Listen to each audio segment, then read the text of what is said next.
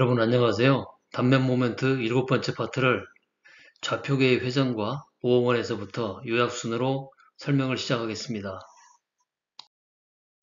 단면 2차 모멘트의 미니멈 값은 모어원에서 왼쪽 그림과 같이 나타낼 수가 있습니다. 단면 2차 모멘트의 미니멈 값이 가장 작은 단면은 어떤 것일까요? 이 세 개 중에서 한 개를 골라보십시오. 이전까지의 비디오에서 단면 1차 모멘트부터 모아원의 작도까지를 설명드린 바가 있습니다. 이번 비디오에서는 좌표축이 회전할 때 모아원의 반경 페이서의 회전이 어떻게 나타나는지를 살펴보고 이에 따라 단면 2차 모멘트와 상승 모멘트가 어떻게 결정되는지를 살펴보겠습니다. 이 그림은 지난 비디오 HE43에서 주축의 방향을 설명했던 내용입니다. 여기서 우리가 다시 기억해야 될 내용은 ZY에서 Z', Y''으로 좌표계가 시계 방향으로 회전했다고 가정을 하고 관련식을 유도했다는 것입니다. 따라서 시계 방향으로 회전할 때 세타 값이 플러스이고 반시계 방향이면 마이너스 값을 갖게 됩니다. 축이 시계 방향으로 회전을 하면 모아원에서 어떻게 나타나는지를 살펴보겠습니다. 파란 굵은 선이 현재 축이고 녹색 가는 선이 시계 방향으로 세타만큼 회전한 좌표축을 나타냅니다. Z성분이 플러스이고 Y성분도 플러스이기 때문에 세타의 부호는 플러스가 됩니다.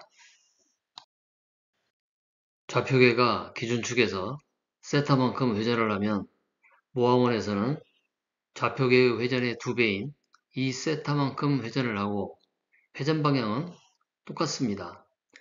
왼쪽 그림에서 파란색의 기존 좌표계에서 시계 방향으로 세타만큼 녹색 선 좌표축으로 회전을 하면 새로운 좌표계 Z', Y''은 주축과 일치하게 됩니다.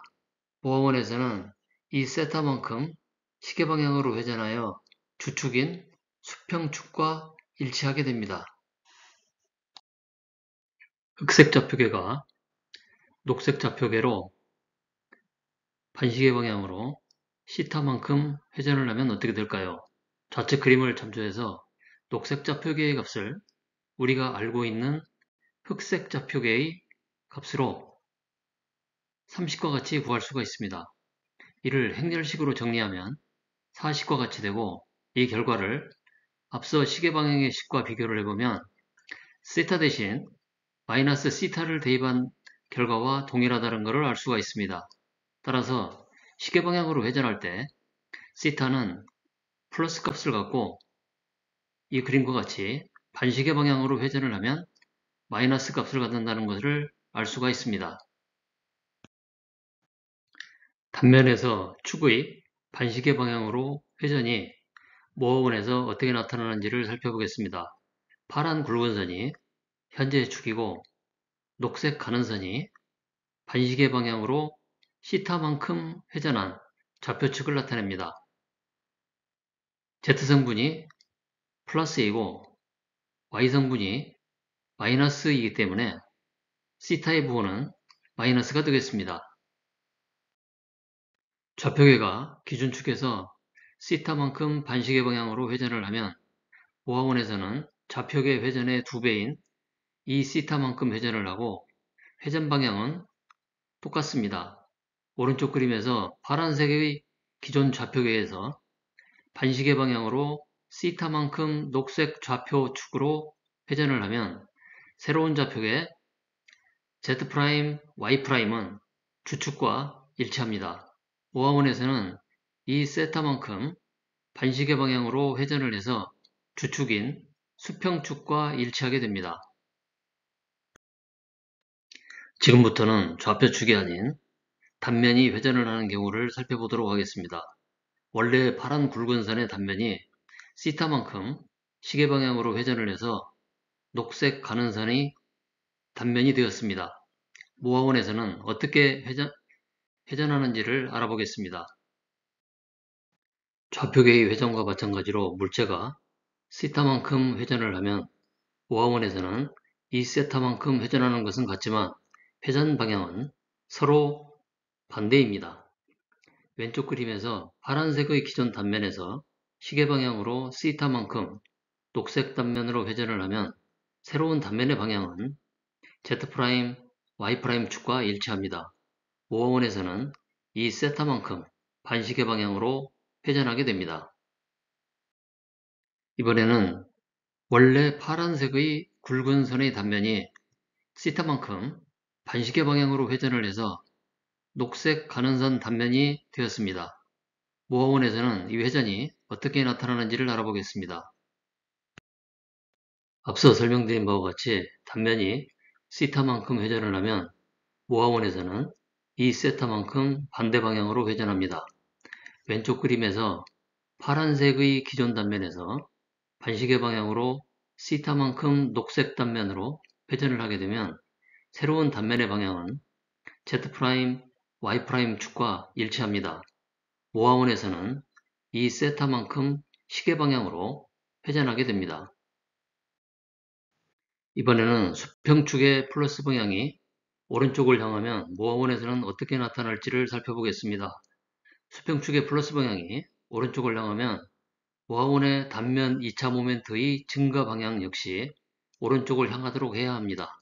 이렇게 하면 좌표축의 회전 방향과 모아원에서의 회전 방향이 서로 일치하게 됩니다. 왼쪽 그림에서 파란색의 기존 좌표계에서 시계 방향으로 세타만큼 녹색선 좌표축으로 회전을 하게 되면 새로운 좌표계 X', Y''은 주축과 일치하게 됩니다. 모아원에서는 이 세타만큼 시계 방향으로 회전을 하여 주축인 수평축과 일치하게 됩니다. 이번에는 앞서 예와 반대인 반시계 방향으로 회전하는 경우를 살펴보겠습니다. 왼쪽 그림에서 파란색의 기존 좌표계가 반시계 방향으로 시타만큼 회전을 해서 녹색 좌표축이 되었을 때 새로운 좌표계 X', Y''은 주축과 일치하게 됩니다. 오하원에서는 이 세타만큼 반시계 방향으로 회전을 해서 주축인 수평축과 일치하게 되는 것입니다. 수평축의 플러스 방향이 좌측일 때 모아원의 단면 2차 모멘트의 증가 방향도 좌측으로 맞춰 놓으면 실제 단면에서의 축이 시타만큼 회전을 하면 모아원에서는 이 세타만큼 회전을 하고 회전 방향은 동일합니다. 단면이 회전하는 것이 아니고 좌표축이 회전한다는 것을 반드시 기억하셔야 합니다. 단면이 회전하면 이들의 회전 방향은 반대가 됩니다. 수평축의 플러스 방향이 우측일 때 단면 2차 모멘트의 증가 방향도 모아원에서 우측으로 맞춰 놓으면 실제 단면에서 축이 세타만큼 회전을 했을 때 모아원에서는 이 세타만큼 회전을 하고 회전 방향이 동일하게 됩니다. 단면이 회전하는 것이 아니고 좌표축이 회전한다는 것을 반드시 기억하셔야 합니다. 단면이 회전하면 이들의 회전 방향은 반대가 됩니다. ZY 좌표계에서 회전한 Z', Y' 좌표계의 미소영역 DA의 좌표 성분은 우리가 알고 있는 ZY축 성분으로 식 1과 같이 나타낼 수가 있습니다. 식 2를 행렬을, 행렬 형태로 나타낼 수도 있는데 사실 이것은 좌표계가 회전하였을 때 각 점의 좌표를 구하는 행렬식과 동일합니다.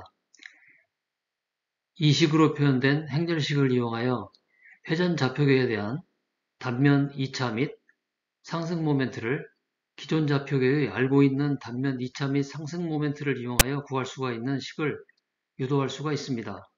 삼각함수로 나타낸 square matrix의 역행렬 식을 이용을 해서 변환 후에 변환 후의 좌표값 x', y''으로부터 변환 전 원래 그래프의 좌표 z, y를 구할 수도 있습니다. 이번에는 단면이 회전할 때를 알아보겠습니다. 단면이 시타만큼 회전하는 것은 좌표계가 반대 방향으로 시타만큼 회전한 것과 동일합니다. 따라서 앞서 구한 식을 그대로 사용하면 됩니다. 이를 증명해 보죠. 먼저 시타 값을 플러스라고 정의를 해보겠습니다.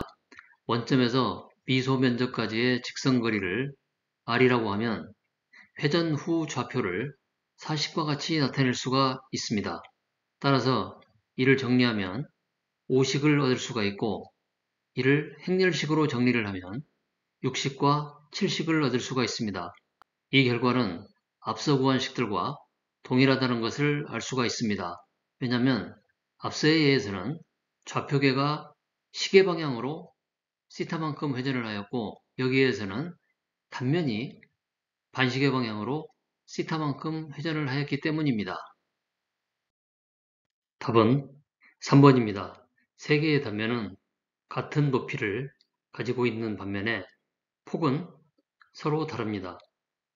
3번의 폭이 가장 적기 때문에 주축 y에 대한 단면 모멘트가 세개 단면 중에서 가장 적은 값을 갖게 됩니다.